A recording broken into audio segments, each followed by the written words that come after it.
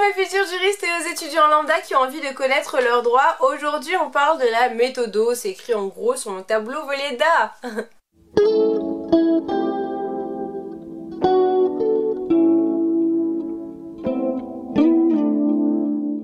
C'est une vidéo qui a été un peu demandée et alors comme d'habitude je vous demanderai de me suivre sur mes réseaux sociaux etc parce que c'est avec vous que j'en parle sur mon Instagram des sujets à venir etc et je pense qu'il est important pour vous d'avoir des exercices qui vous correspondent ou en tout cas je vous parle de sujets qui vous intéressent. Alors la méthodologie comme je vous ai dit en droit en tout cas en première année de droit mais de manière globale dans vos études de droit est un exercice complexe et surtout un exercice important.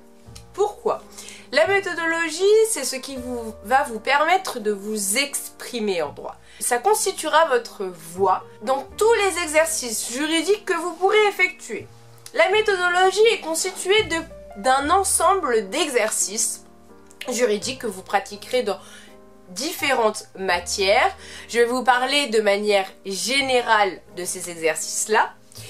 Et au début d'année, je vous sortirai une vidéo par exercice afin que vous ayez la pratique des exercices, c'est-à-dire ce que l'on attend de vous dans ces exercices-là. Pourquoi je ne vous en parle pas aujourd'hui? Et c'est ce que j'ai hésité à faire. Pourquoi? Parce qu'un exercice mérite une vidéo et je ne pouvais pas sortir 5 ou 6 vidéos d'un coup parce qu'il y a autant d'exercices que ça. Puisque je voulais surtout que vous compreniez l'importance de la méthodologie, je vais vous en parler de manière globale et surtout je vais vous parler des exercices et de quoi ils sont constitués, en gros, pour que vous sachiez de quoi on parle et surtout qu'est-ce que l'on attend de vous en méthodologie? Il y a donc dans ces exercices, et si je reprends dans l'ordre, le cas pratique, la dissertation, la fiche d'arrêt, le commentaire d'arrêt, le commentaire de texte et le commentaire d'arrêt, et j'ai mis en dernier le syllogisme, même si ce n'est pas à lui seul un exercice euh, méthodologique, mais une logique juridique à avoir si l'on souhaite pouvoir faire ces exercices-là. Alors tout d'abord, qu'est-ce que le cas pratique? Le cas pratique est pour moi l'exercice de méthodologie, en tout cas juridique, le plus empreint de la réalité. Pourquoi? Parce que pour les personnes qui veulent faire de l'avocature, etc., le cas pratique, concrètement, c'est une mise en situation pratique, comme son nom l'indique, d'un cas particulier ou d'une espèce particulière sur un sujet en droit particulier. Vous le verrez lorsque vous ferez de l'introduction au droit, c'est-à-dire de l'introduction au droit civil, ou lorsque vous ferez du droit de la famille, vous aurez énormément de cas pratiques dans ces matières-là. En gros, on vous met dans une situation d'espèce, on vous raconte une petite histoire, et vous, vous vous placez en tant que juriste, ou en tant qu'avocat en tout cas, en tant que professionnel du droit, et devez donner des solutions à chaque problème qui vous sont exposés. Le cas pratique, pourquoi est-ce qu'il est compliqué? Le cas pratique est compliqué par nature, par sa longueur. Dans le cas pratique, vous verrez, vous aurez une histoire euh, d'une page ou deux. En gros, on vous met dans une situation alambiquée, on vous expose un problème alambiqué pour lequel vous devrez chercher plusieurs problèmes de droit. Des personnes se retrouvent confrontées à un problème et vous, vous devez le définir en droit. C'est ça la problématique du cas pratique, c'est de trouver tous les problèmes de droit auxquels sont exposés puisque vous êtes noté sur en partie, en tout cas moi c'est ce que j'ai eu l'impression de vivre et ce que j'ai eu l'impression dans mes notes, au nombre de problèmes de droit que vous avez trouvés et surtout quel type de solution juridique vous avez donné aux problèmes? Avez-vous bien trouvé tous les endroits où il y avait des problèmes et proposé des solutions variables à la personne qui s'expose à vous? La deuxième problématique du cas pratique, c'est effectivement sa longueur. En partiel, vous disposez, moi en tout cas, en droit civil ou en droit de la famille par exemple, parce que c'est un meilleur exemple pour moi, parce que voilà, euh, en droit de la famille, vous avez 3 heures pour faire un cas pratique. Sauf qu'un cas pratique d'une page recto verso, ça veut dire 8 ou 9 questions de droit. 8 ou 9 questions de droit, faut les trouver, faut leur donner une solution juridique, faut retrouver l'article. Voilà, c'est une logique du droit, c'est la raison pour laquelle c'est compliqué. Ce n'est pas trouver l'article qui est compliqué, c'est de réussir à gérer son temps et son stress. Voilà, donc ça c'était pour le cas pratique, vous avez ensuite la dissertation. La dissertation, qu'est-ce que c'est? Alors ça, vous l'avez retrouvé au lycée. La dissertation, bah, c'est comme euh, toute dissertation. Vous avez une thématique et vous devez disserter dessus. Quels sont les points forts et les points faibles de cette dissertation-là? Les points forts dans la dissertation, c'est que c'est l'endroit où vous pouvez parler de votre cours, enfin parler de vos connaissances, et où on contraint en tout cas euh, la connaissance de votre cours. Mais dans la dissertation, faut pas oublier qu'il y a une méthodologie propre. L'exercice de la dissertation est compliqué parce qu'il faut être intéressant du début à la fin. Généralement, votre correcteur a des centaines de copies à lire. Il ne lira presque que votre introduction et le titre de vos parties. En droit, les parties sont binaires, c'est-à-dire que vous ne ferez pas 1, 2, 3 plus conclusion, vous ferez 1, 2 sans conclusion. Alors, je ne sais pas ce que votre faculté dira et je ne veux pas vous induire en erreur sur ça. Dans ma faculté, on ne fait pas de conclusion. On peut faire une amorce de sujet, ça veut dire une ouverture de sujet, pour un sujet qui, euh, auquel on pourrait être exposé par la suite avec cette la problématique donnée que l'on avait sur le coup. Mais on ne fait pas de conclusion, on ne synthétise pas au final. Normalement, votre exercice juridique, l'exercice de la dissertation, est suffisamment synthétique. On ne veut pas vous entendre blablater sur votre cours. On veut une phrase sujet, verbe, complément, avec une qualification juridique et un syllogisme juridique logique dans chacune de vos parties. Ce qui est le plus difficile pour moi, c'est les notions de transition et d'introduction, parce que en même temps, je veux parler du sujet, mais en même temps, je veux pas recracher mon cours, parce que c'est pas du tout ce qu'on attend de moi. Ce qu'on attend de moi, c'est que je sois méthodique. Il y a une logique dans la dissertation et je sais que moi la raison pour laquelle j'ai redoublé c'est parce que j'étais très nulle en exercice pratique. Ça veut dire en cas pratique j'étais très bonne parce que je comprenais très bien et pour moi c'était très logique mais en dissertation on me demandait d'être synthétique et ça pour moi c'était difficile.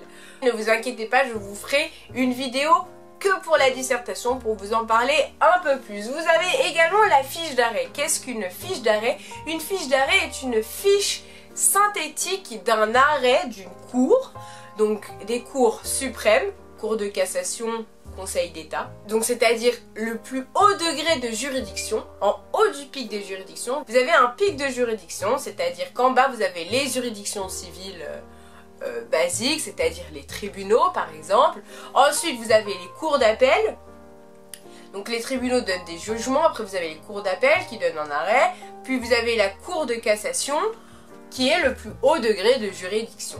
Et en gros, pour pouvoir se pourvoir en cassation, c'est-à-dire se rendre devant une cour de cassation lorsqu'on fait, on a une injustice par exemple, il faut avoir monté tous les degrés de juridiction auparavant. Donc la fiche d'arrêt constitue, hop, une fiche synthétique du dernier degré de juridiction français et aussi des juridictions internationales. Cette fiche d'arrêt là, pourquoi est-ce qu'elle est complexe? Elle est complexe parce qu'elle constitue un exercice en 7 étapes.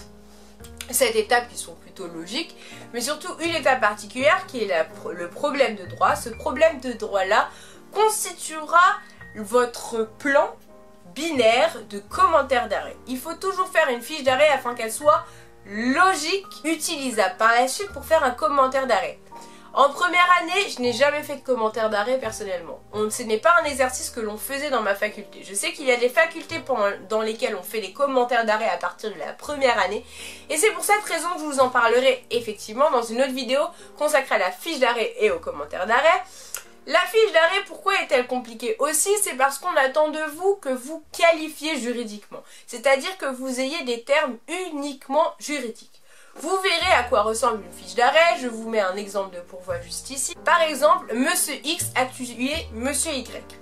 Vous, dans la qualification juridique, vous direz le demandeur se pourvoit en cassation contre le défendeur. Il pour motif que dans les faits il y a, enfin bref. C'est cet exercice méthodologique-là de la fiche d'arrêt qui est plutôt complexe et aussi cette notion de temporalité. Généralement, la fiche d'arrêt est considérée comme l'un des exercices les plus courts juridiquement puisqu'il est censé donner suite à un commentaire d'arrêt. Et du coup, généralement en période de personnel, en tout cas moi en droit civil, donc en introduction au droit si vous préférez, une de vos majeures, la fiche d'arrêt était couplée avec un autre exercice de droit, donc une dissertation possiblement, ou une deuxième fiche d'arrêt, plus ou moins complexe. Voilà. Encore une fois, on n'attend pas du tout de vous une récitation de cours dans la fiche d'arrêt, puisqu'on attend de vous que vous parliez de l'arrêt en question. Voilà, donc c'est la, la question du vocabulaire juridique pour moi qui est compliqué dans cette notion de fiche d'arrêt. Le commentaire de texte. Le commentaire de texte est un exercice en droit, moi que j'ai fait en histoire du droit. Pourquoi est-ce qu'il est compliqué? C'est un texte que l'on vous donne, pour lequel vous devez trouver une problématique, et ça donne très envie de paraphraser. La paraphrase en droit, interdit. On n'attend pas de vous que vous paraphrasez le texte. Le texte, on l'a devant les yeux. La problématique aussi, c'est qu'il faut trouver un, un plan binaire avec ce texte-là. C'est-à-dire que vous devez séparer votre texte en deux parties distinctes. En même temps, exposer un peu de vos cours, mais pas non plus faire de la récitation de cours parce que voilà, c'est pas un exercice de dissertation, c'est bien un exercice de commentaire. Commenter le texte. Ne pas disserter, ça veut dire ne pas être dans la récitation de cours, mais à la fois ne pas être dans la paraphrase. C'est un juste milieu qui est pour moi compliqué. Le commentaire de texte est un exercice que je trouve aussi compliqué pour sa durée temporelle. Moi, je suis quelqu'un qui a du mal à synthétiser, où mon exercice de synthétisation est plus long que certaines autres personnes qui ont l'habitude de synthétiser. Et du coup, euh, c'est vrai que je passe souvent beaucoup de temps sur mon brouillon. De toute manière, vous l'apprendrez. Parce que vous êtes en partiel, il faut au moins passer 50% de votre temps euh, sur votre brouillon, c'est-à-dire une heure et demie. Parce que l'introduction du commentaire du texte, de la dissertation, etc., c'est ce qu'on va lire. Votre introduction, encore une fois, est titre de vos parties. Vous avez ensuite le commentaire d'arrêt, donc c'est un exercice que je n'ai pas vu personnellement en première année de droit. Commentaire d'arrêt ressort de la problématique qui a été trouvé, en tout cas le problème de droit qui a été trouvé dans la fiche d'arrêt. Pourquoi le commentaire d'arrêt est complexe? Puisqu'il requiert différentes capacités juridiques. La le problématique première, c'est d'être synthétique, euh, d'être logique, mais surtout bien répondre aux problèmes de droit, parler du cours sans non plus être dans la récitation. Voilà, donc pour moi, il reprend en fait pour moi, c'est l'exercice le plus compliqué. Pourquoi? Parce que le commentaire d'arrêt reprend la problématique du commentaire de texte, mais ce n'est pas un texte, c'est un arrêt. Arrêt pour lequel vous avez du coup, euh, c'est comme un cas pratique, un arrêt, voilà. Et puis, euh, vous devez à la fois être aussi logique qu'en dissertation, puisque le plan et la problématique vient de vous, mais en même temps pas être dans la récitation. C'est un exercice complexe, c'est pour ça que dans ma fac, on ne le met pas en première année. Je vous en parlerai effectivement dans une vidéo, comme je vous l'ai dit, avec la fiche d'arrêt. Et en dernier, je vous parle un petit peu du syllogisme juridique. Du coup, le syllogisme, c'est ce qui lie toute cette matière de méthodologie du droit. Méthodologie du droit qui est une matière en elle-même, mais que vous allez voir dans vos majeurs. C'est-à-dire, vous n'avez pas un cours de méthodologie du droit. Enfin, si, chez moi, on avait un cours de méthodologie du droit, mais la méthodologie du droit, notre cours de méthodologie du droit à l'UPEC comprenait la gestion d'un code, la compréhension et la recherche en bibliothèque. Donc le syllogisme juridique, encore une fois, c'est euh, majeur, mineur, solution. Le syllogisme est la phrase et la logique vous devez adopter dans tous vos exercices. Ça veut dire que vous commencez à écrire, faut penser syllogisme. Est-ce que ma phrase correspond à cette logique de syllogisme?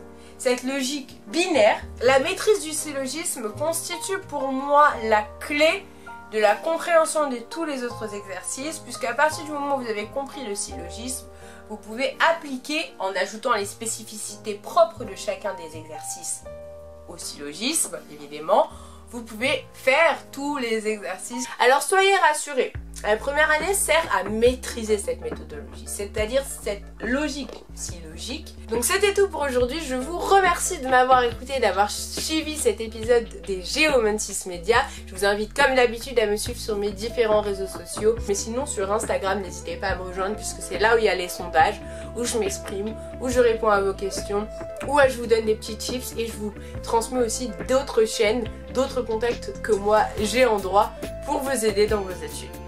Je vous remercie, c'était Geomantis Media.